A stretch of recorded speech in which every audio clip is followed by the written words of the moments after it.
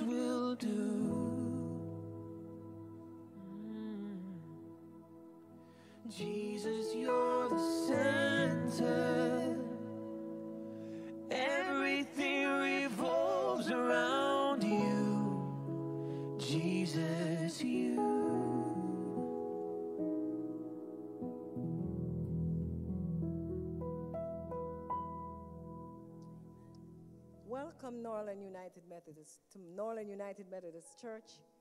We are so thankful that Jesus is always at the center of our lives. And I pray and hope that if Jesus is not at the center of your life today, that after this service you will make him part of your life. It is so good to have you in the house, those who are in, in worship with us in the house, and those who are visiting with us are worshiping also with us online. If you're visiting with us for the first time, if you're in the house, could you raise your hand so we could give you a Norland welcome? Welcome, welcome. Welcome to Norland, those who are visiting in the house and those who are online. If you're visiting with us for the first time, please put in the chat that you are visiting and where you're visiting from, and we will get back to you with all the information that you have given to us. I want to remind Norland members and friends we are updating our database. If you have changed your email or your phone number, please make sure that you call our office at 305 652 5172 so we can update and you can obtain information. Yes, welcome again at Norland United Methodist Church on behalf of Reverend Margaret Cartway and the worship committee to our church. It is so good to have you here. We are located here at 885 Northwest 195th Street in the beautiful city of Miami Gardens. let's hear about a few news that we have for this week. Oh, Bible study. If you have not joined our Bible study group, you are missing out because it is so good to come together and pray, not just for ourselves, but for the world to intercede. So join us every Wednesday to study the Word of God, and we're having wonderful study as each group is doing their presentation on Zoom. It's on Zoom, the information is on the screen. If you do not have the information and need more information, please call the office. And if you call the office and nobody answers, leave a message. We check our message daily. So join us on Wednesday at 12 noon for Bible study. And prayer. Prayer, prayer, prayer changes all things. And so on Monday evening or at 9 a, at 9 p.m., we make sure it is at 9 p.m. so you can come from work and just settle in before you go to bed. 9 p.m. on our call in number. You can also call the church office if you don't have that information. And we have upcoming events. I know we have our charge conference. It's very, very important. And this year, our charge conference will be November 7th, and it will be at 4.30 p.m. It's a Sunday afternoon on Zoom. The information will be sent um, in the future, and we're asking everyone to join in. It is your church, Norland. Today is Laity Sunday, and we come together as a laity. And so this is your time to step forward and say, What can I do for my church? What am I doing for Norland? What is God calling me? Don't point your finger and say the other person will do it. What did you say when you joined Norland? That I will serve it with not just your gifts. What are your gifts? Are you giving God your gifts? So remember, charge conference November 7th at 4:30 p.m. via Zoom. Thank you so much. Let us all stand now for the call to worship.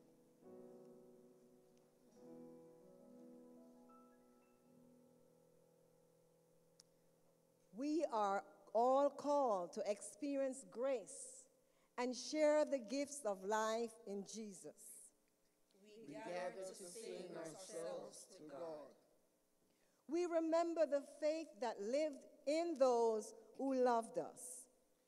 We know the Lord's song includes verses of grace we've yet to learn. In every scene of trauma, tragedy, and menace, we discover love already at work. And we join in a chorus where brokenness and captivity becomes healing and freedom. And now we'll have a presentation of our ministry before the prayer. You may be seated.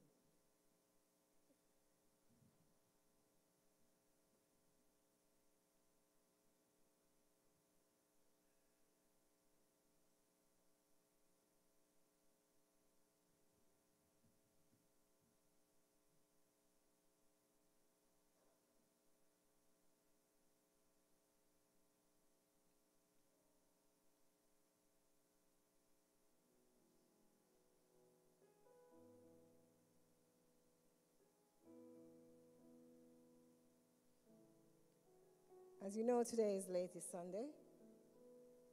And as the slide is getting ready to be prepared, let me just let you know that Laity Sunday represents or celebrate the ministry of all Christians to love God and neighbors.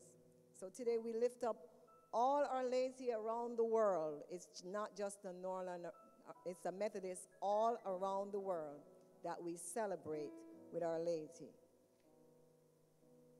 You see, Laity Sunday is a day set aside to remember that everyone is invited to embody God's restoration project of healing, of love, justice, and world repairs. This is observed on the third Sunday in October, and this year, today, October 17, 2021, we are observing Laity Sunday. In one way, we express the deep conviction that all are called to participate in God's mission and live this calling through the ministry of our church. Take a look.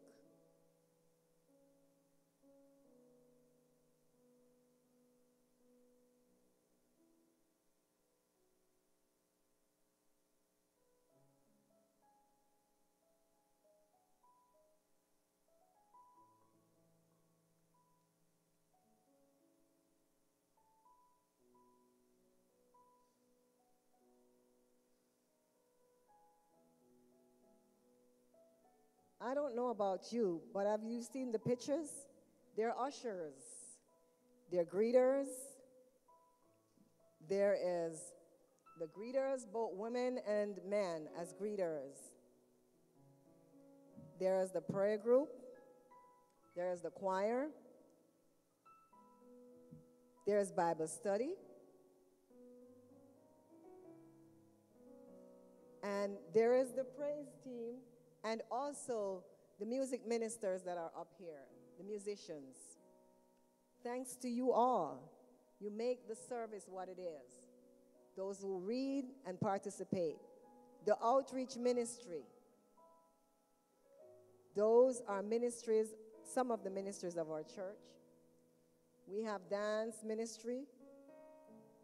We have exercise ministry. There's so much to get involved in. What is God calling you to get involved in today? What would you like to participate? The gifts doesn't mean just your money, but it means your time and it means your service. So wherever God is calling you to mission in our community or outside of the community, make a commitment to Norland United Methodist Church if you have not done so and be a part of God's calling. Amen. Let us pray. Yes, Lord. Yes, Lord, we hear you calling. Yes, Lord, we sometimes shy away from the calling. We give you thanks, Almighty God, for bringing us together in service and on the virtual world.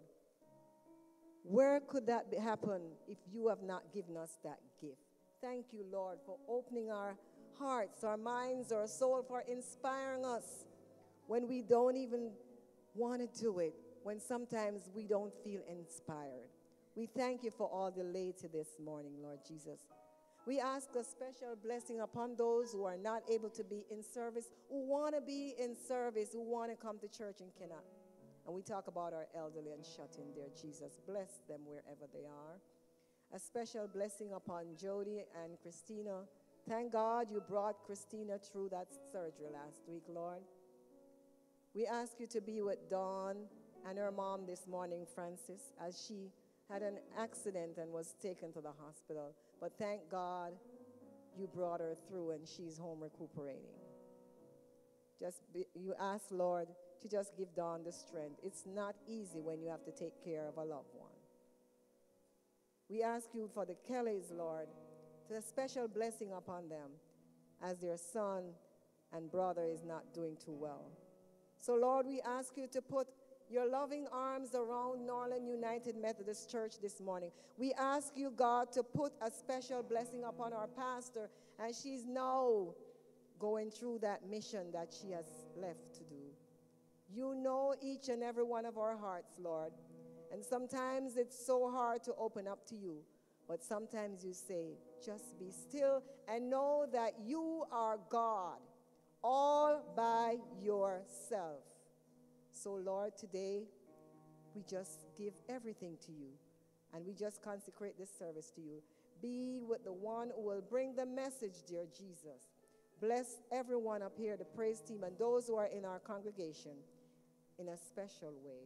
We thank you and we praise you and we give you all the honor. And all God's people say, Amen. Amen.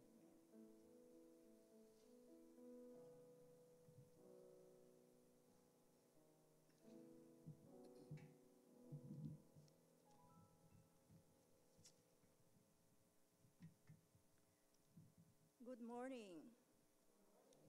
Our first scripture lesson is taken from Job chapter 28, verses 1 through 7. the Lord speaks. Then the Lord answered Job out of the storm. He said, Who is this that darkens my counsel without words, without knowledge? Brace yourself like a man. I will question you, and you shall answer me. Where were you when I laid the earth's foundation? Tell me, if you understand. Who marked its off its dimensions? Surely you know. What stretched a measuring line across it? On what were its footings set? Or who laid its cornerstone? While the morning stars sung together and all the angels shouted with joy. Here ended the word of God. Thanks be to God.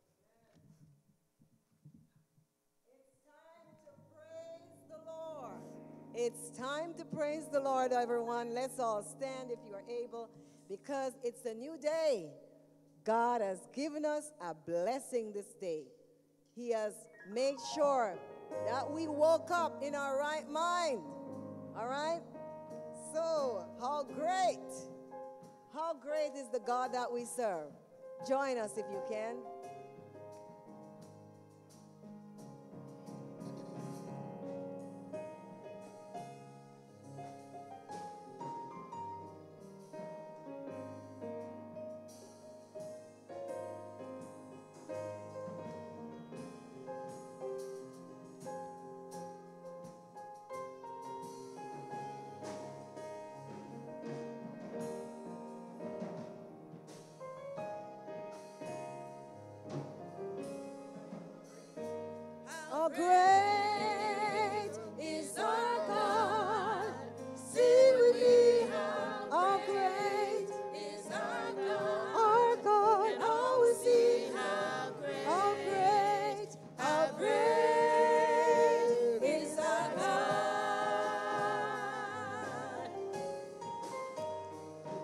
How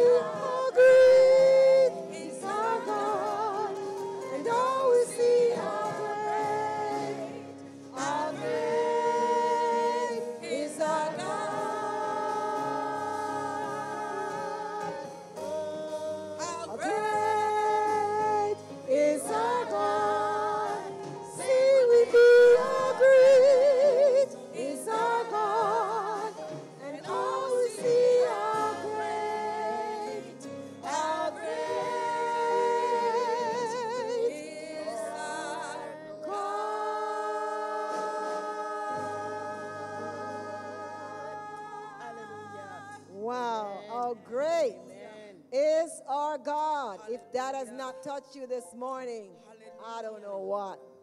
But because of who He is, we have to give Him the glory because He's the great God Almighty, the God of all the earth. So, because of who you are, we're giving Him glory this morning.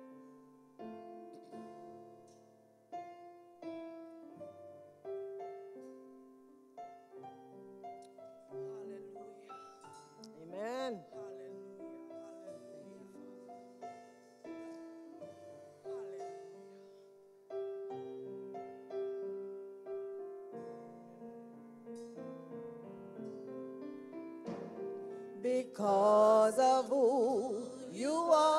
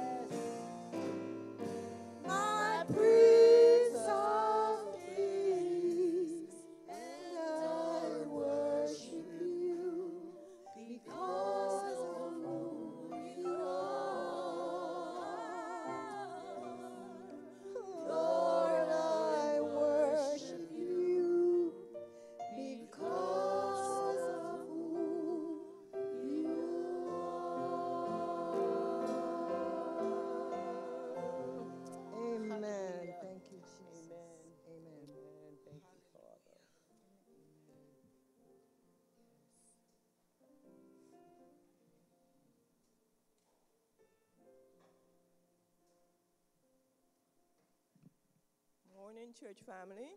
Good morning. Today's scripture reading will be taken from Mark 10, verses 35 to 45. This is a request from of James and John. Then James and John, sons of Zebedee, came to him. Teacher, they said, we want you to do for us whatever we ask. What do you want me to do for you? He asked. They replied, Let one of us sit at your right hand and other at your left in glory. You don't know what you're asking, Jesus said. Can you drink of the cup I drink, or be baptized with the, with the baptism I am baptized with? We can, they answered. Jesus said to them, You will drink of the cup I drink and be baptized with the baptism that I am baptized with. But to sit at my right or left, it is not for me to grant. These places belong to those whom they have been prepared. When the ten heard about this, they began to be indignant James and John. Jesus called them together and said, You know that those who are regarded as rulers of the Gentiles lord it over them, and their higher officials exercise authority over them. Not so with you. Instead, whosoever wants to become great among you must be your servant, and whosoever wants to be the first must be slave of all. For even the Son of Man did not come to be served, but to serve, and to give his life as a ransom for many. This is the word of the Lord. Thanks be to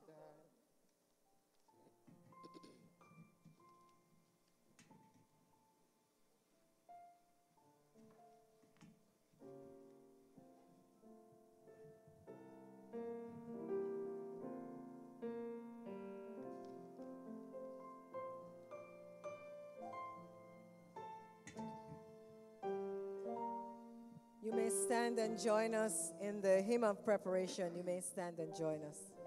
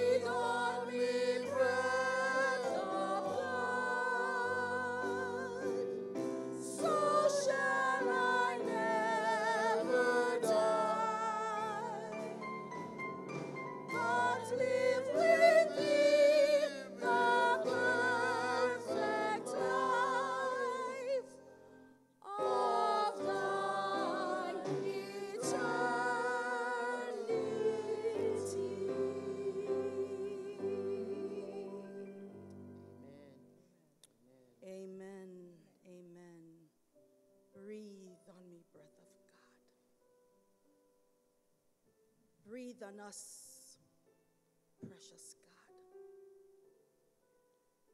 Make us fully yours until we love all that you love and that we do what you have called us to do. Father God, we thank you for the opportunity this morning to stand here in worship. Father God, thank you for your presence. And thank you for the fellowship, Father God. Because, Father God, we know there are so many things this week that has threatened to take us out, that has attempted and has made it known to us, Lord, that the enemy is like a roaring lion, Father God, seeking whom he may devour. But Father God, yet and still your word tells us that no weapons formed against us, Lord, shall prosper. Amen. So, Father God, thank you for the opportunity to be here this morning. Thank you for the opportunity, Father God, to just experience your presence. Thank you for the opportunity that we have breath in our bodies this morning, Father God, because there are so many others who do not. Thank you for the opportunity to be standing here under our own strengths or to be sitting at home wherever we are. The fact that we can see and hear is a blessing from you, Father God. Father God, for those who are sick and in need of healing, we lift them to you this morning, Take control. Take control, Father God. Diminish whatever is not of you till all that we can see is your reflection in us. Let the words of my mouth and the meditation of my heart, Lord, be acceptable in your sight. In Jesus' name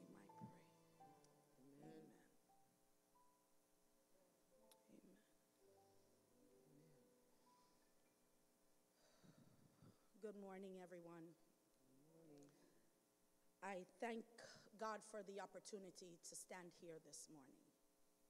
And I thank Pastor Margaret and the laity for allowing me this privilege to bring this message to you this morning. You know, for me, it's God's timing never ceases to amaze me.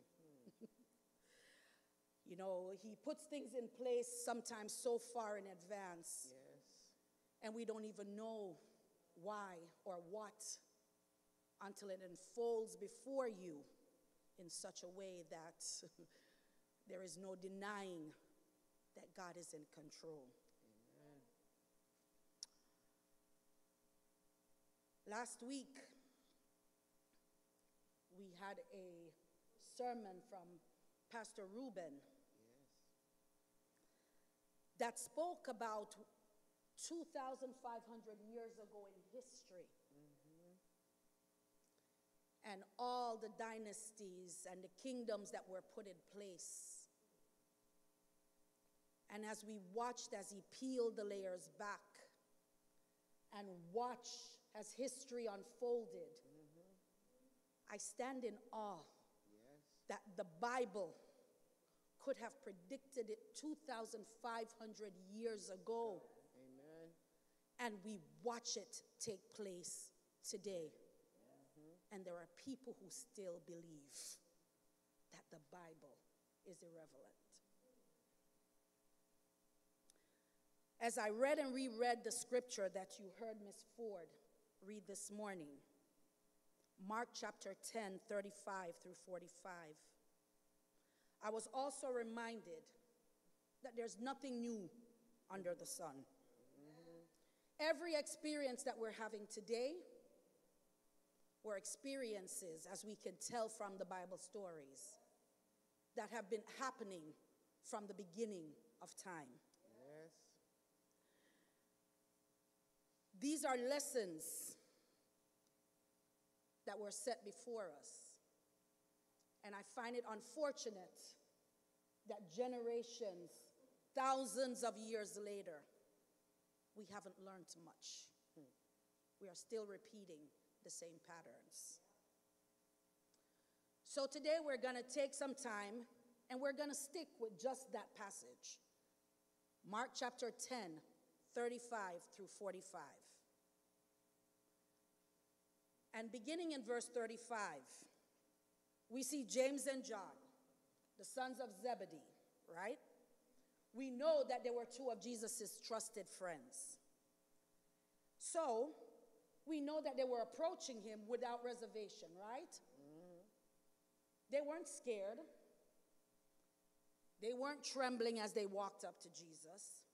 They were bold, very bold, as they declared to him, We want you to do whatever we ask. It wasn't a question of God, what, what God wanted from them. It wasn't a question of, you know, God, you know, I have a, I have a, um, a request here, you know, do you see fit to grant it? No, they were very bold. I want you to do whatever we ask. So that tells me that there was some familiarity with Jesus, right? Mm-hmm. There had to be some sort of relationship, some sort of friendship that allowed them that latitude to be able to approach him in such a way, telling him, Listen, my friend, I want you to do what I want you to do. Mm-hmm. Right? There had to be some relationship there.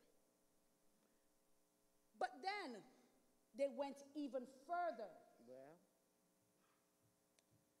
Well, Jesus, we want to sit on your right and on your left, well, right? And if we look back at the time in history, they were expecting a king, a ruler, not a savior. So everything that Jesus has been going through, all the work with, that he's been doing with them, all the preaching and everything that he has been doing, they assumed it was leading up to some sort of kingship.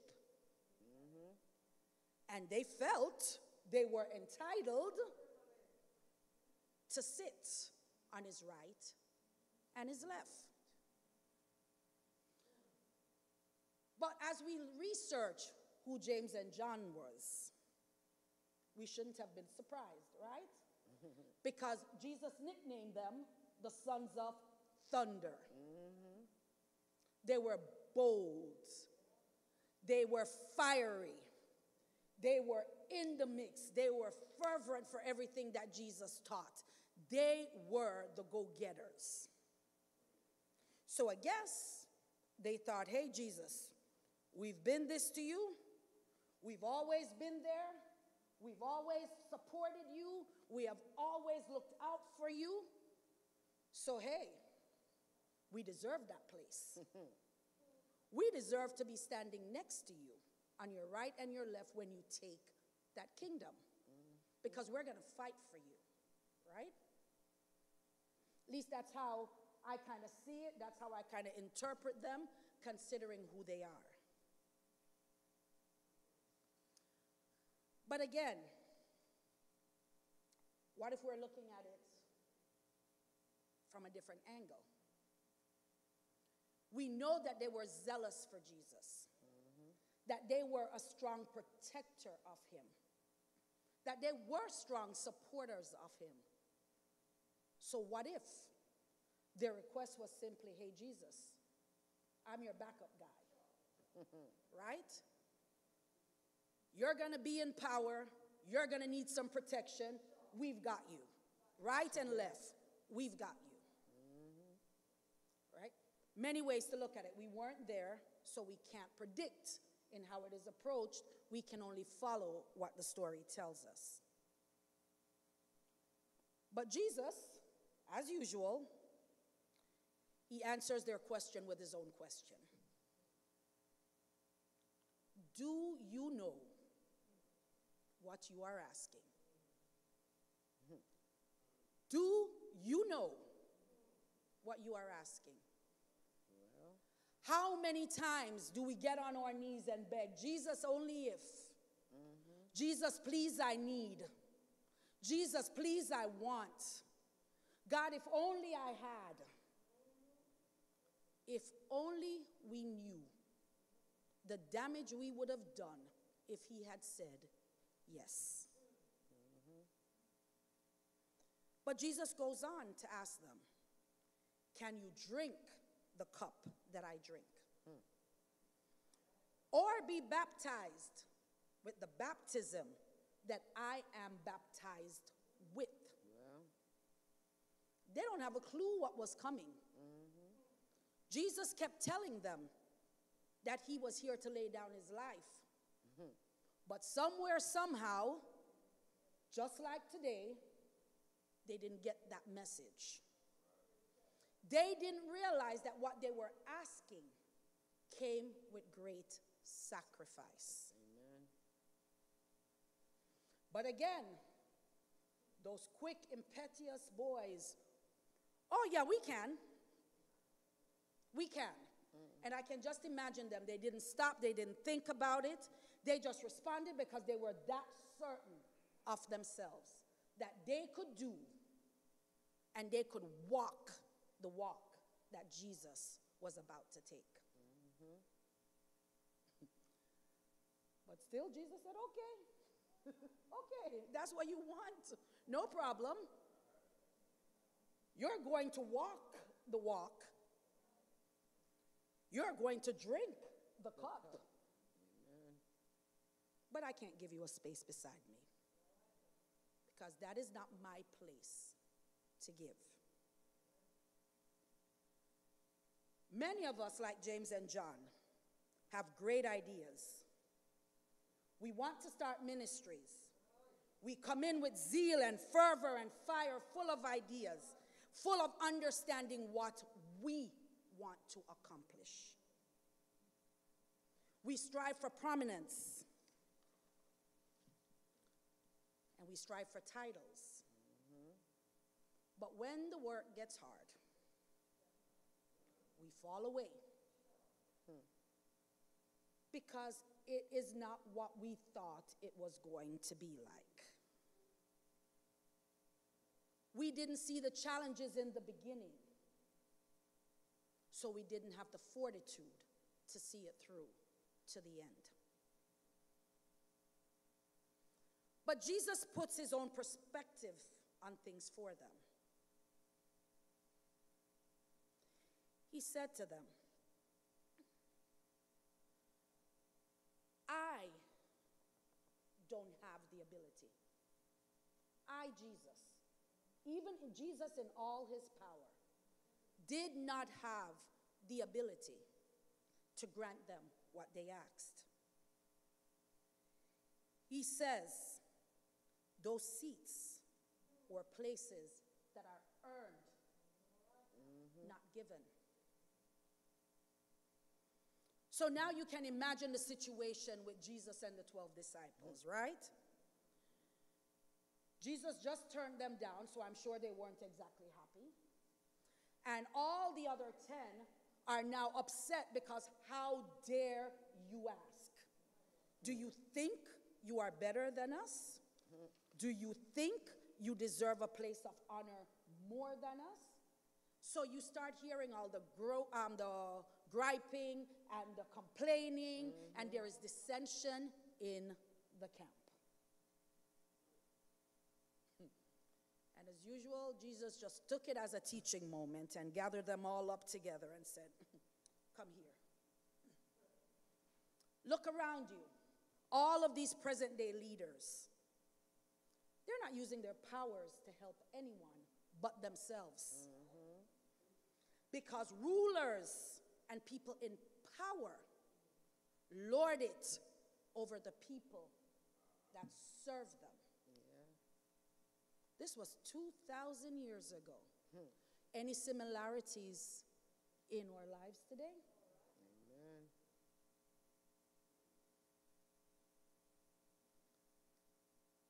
Then Jesus gave them the ultimate lesson. Whoever of you want to be great, you must first, first be slave to all. If you want to sit in the seat of greatness, if you want power and might, you must first learn to be slave to all. Now, is Jesus asking us to be literal slaves? That's not what he's asking. What he is saying is simple. It's very simple lesson, right? Mm-hmm. Some of the greatest leaders, they are great because they know their business from the bottom up. They have worked in every capacity, from the person who cleans the toilet to the CEO. So they know and they understand what everything entails so that they have a clear understanding of how to lead those they want to follow.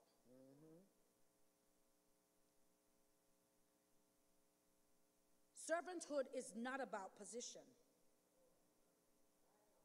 Not about your skills. It is an attitude that great leaders look for a way that they can help to add value to other people. All right? Because God tells us, I, I, the Lord God, didn't come into this world to be served, but he came to be a ransom for all of us, mm-hmm. right? Irregardless of who we are, irregardless of what position we hold, irregardless of how puffed up we think we are. Mm. It is only by the sacrifice and the blood shed by Jesus that we are redeemed and made whole. So, the kingdom of God, what would it look like for us? God is asking us to love each other.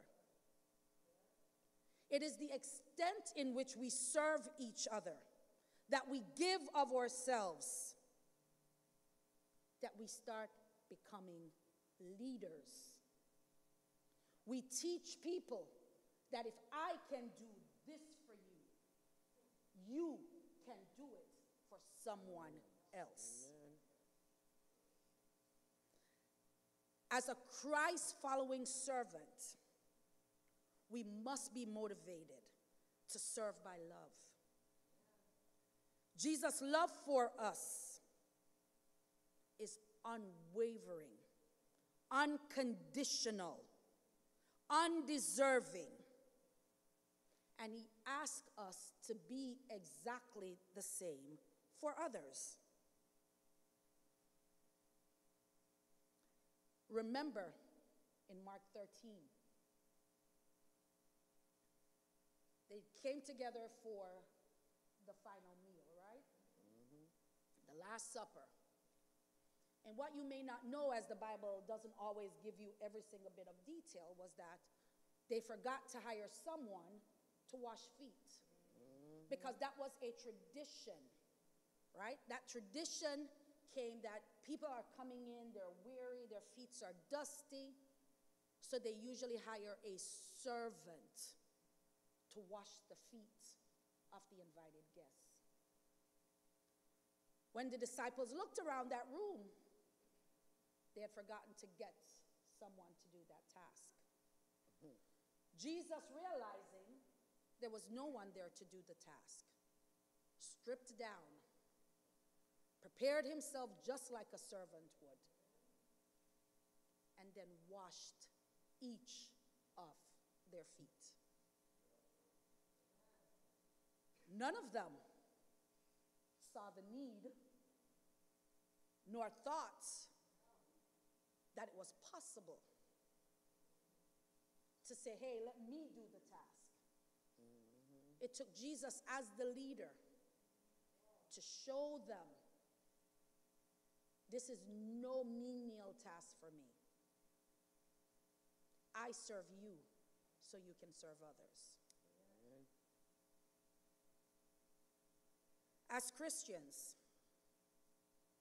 I would love to say that we don't care about what, what others thinks about us. but unfortunately, we do. And we care a little bit too much about what other people thinks about that, about us. The only question we should be asking ourselves is, what does Jesus think about us? What does he think about us?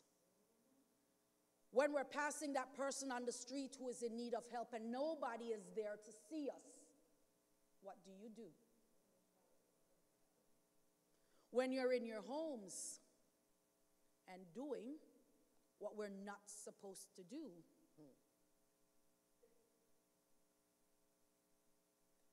well, nobody is seeing us, so it's okay.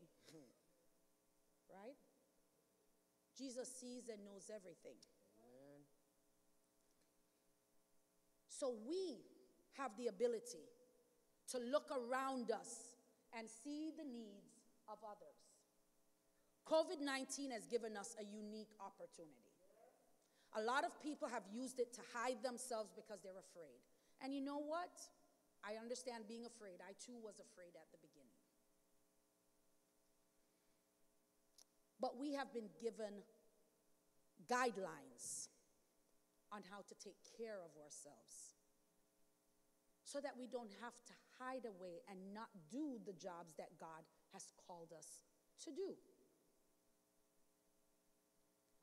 At the end of the day, you can sit from the comfort of your house and make a phone call and pray with somebody who's in need of prayer.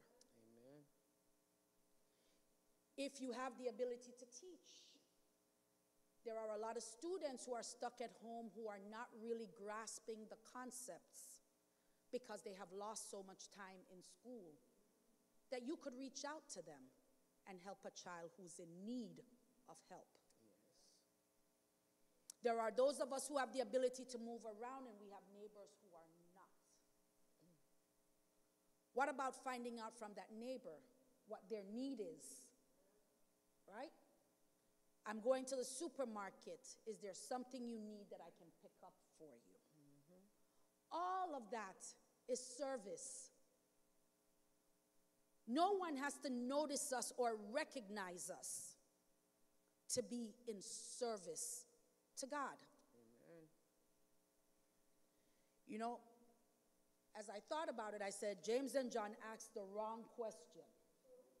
They asked the wrong question. And most of us today ask the wrong question as mm-hmm. well. Yes. The question instead should have been How can I be your right and your left hand? Amen. That is the question that they should have asked. Great leaders learn that they lead only because people are willing to follow. You can have all the title in the world. You can laud things over people and try to pull them to do what you have asked or requested.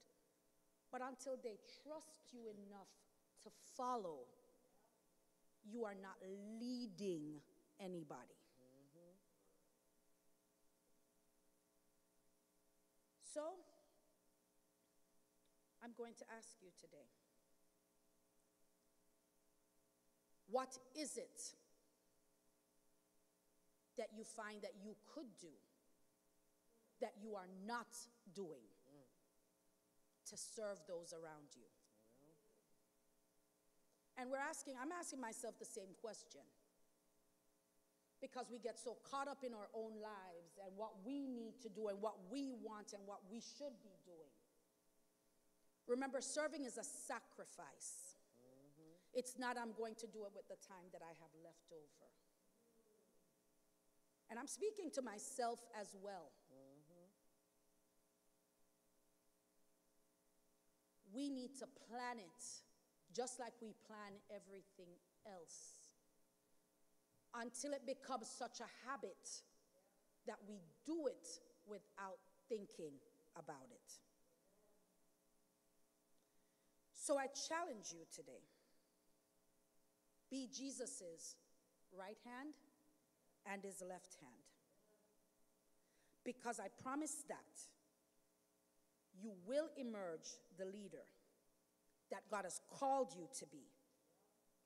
Whether you are following or leading a large or small group, anything you do for Jesus will not go unnoticed. So be his right and his left hand. In Jesus' name. Amen. Amen.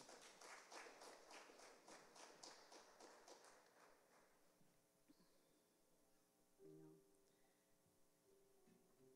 know. At this time, we say thank you for the support that we get online, that we get in person, that is mailed in, because it is your gifts, your tithes, and your offering that keeps this ministry going. So we say thank you.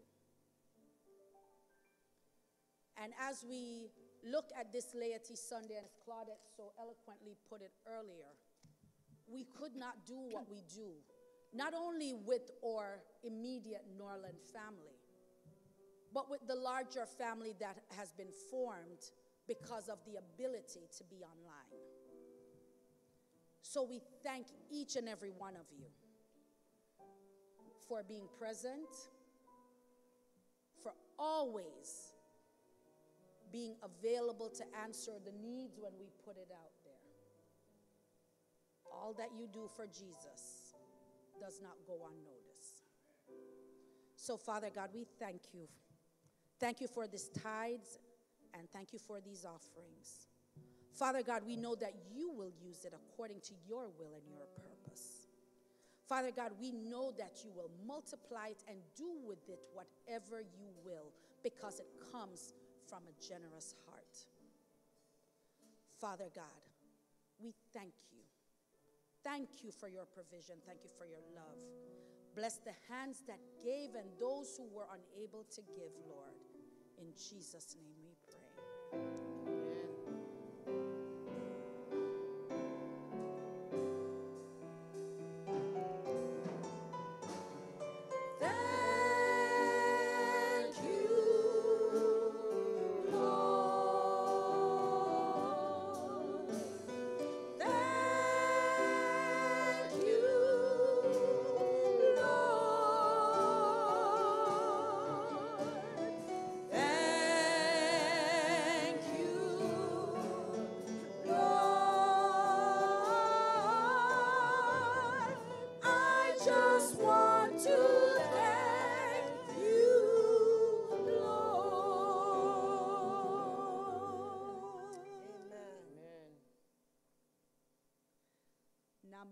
Grace of our Lord and the fellowship of the Holy Spirit rest, remain, and abide with us now and forevermore. Amen.